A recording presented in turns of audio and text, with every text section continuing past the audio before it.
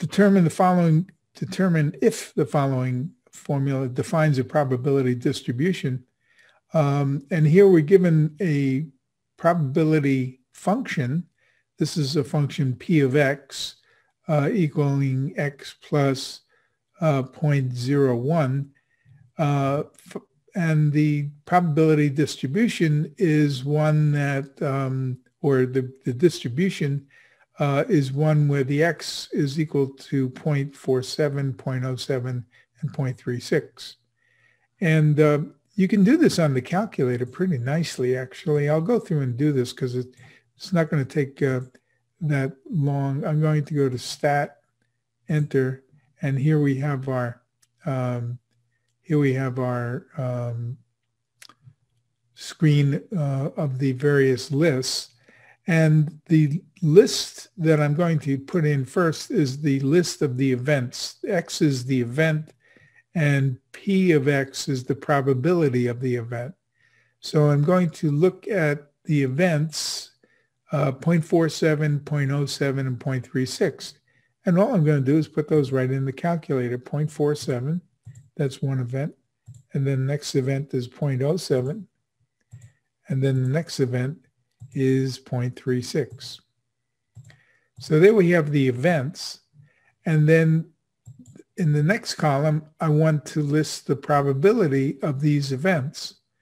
Now I could just add that number plus 0.01 to each one of these events and get the probability of the event.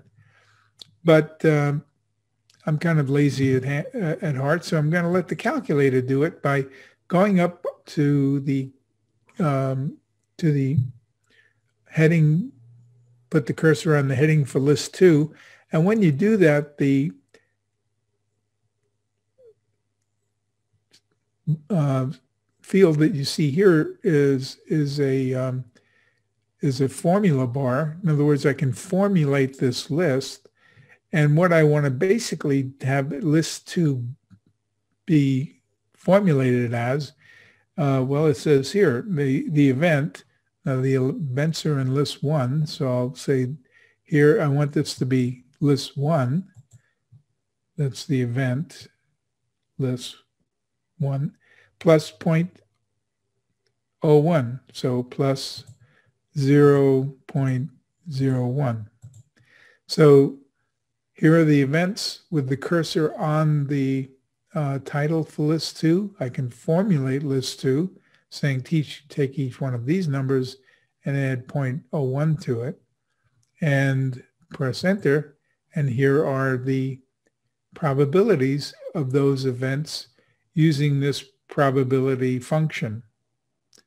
Now, of course, it would have been easy just to add 0.01 to each of these, but going through how you do something on the calculator sometimes can be very, um, very instructive because bigger problems with more entries would be done in the same way and it, the calculator does it very quickly for you for this to be a probability distribution, because it says, is it determined if it is, uh, the sum of these probabilities has to equal one. Now I could just add these up and that'd be fine. Uh, but uh, what I'm going to do then is instead have the calculator sum these numbers. And the way that's done again is under the list button. So I'll go to second function list, and then I'll go to the math menu and select number five, the sum. So I'll put 5. And what I want is the sum of the numbers in list 2. So I'll put in L2 and press enter. And here we have the sum of the probabilities of the numbers that you see in list 2. And that sum is not equal to 1. It has to be equal to 1 for this to be a probability distribution. So therefore, this is not a probability distribution. And there we go.